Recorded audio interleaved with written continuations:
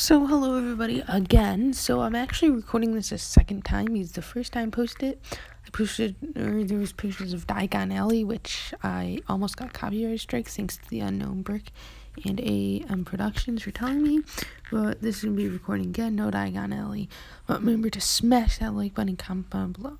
So our first leak here is um, Overwatch since 76978 Orisa and Efi 76979 Battle for Rio and 76981 Talon Dropship. I don't know a darn thing about Overwatch, so I don't really care about this. I have some friends that do, so I'll probably share this with them. Our next leak is the 1989 Batwing leak.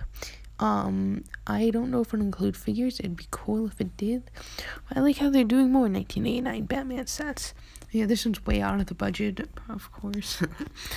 but next leak is the buildable The Child, or aka Baby Yoda. It's, of course, including a Baby Yoda figure. Says 75318. Is this 7513? I don't know. But it's super cute. Um, I'll probably be picking up or getting it for Christmas. Um, it also comes that ball from the Razor Crest, which I think that's really cute reference. Next is the Blue Milk Luke, Farm Boy Luke. Um, it is going to be the minifigure promo with the deluxe version of the Skywalker Saga. Pretty cool. Um, I think it's an interesting choice. Very interesting choice. Next up is the Frankenstein for um, seasonal BrickHeadz. It is black and white because it is the original Frankenstein from like the 30s or whenever Universal Studios has their mark on it because it's a Universal Studios movie, not like a straight up Halloween.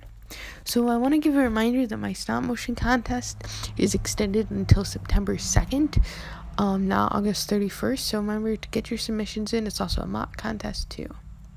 Also, Diagon Alley photos will be linked in my description, so go check those out. Alright?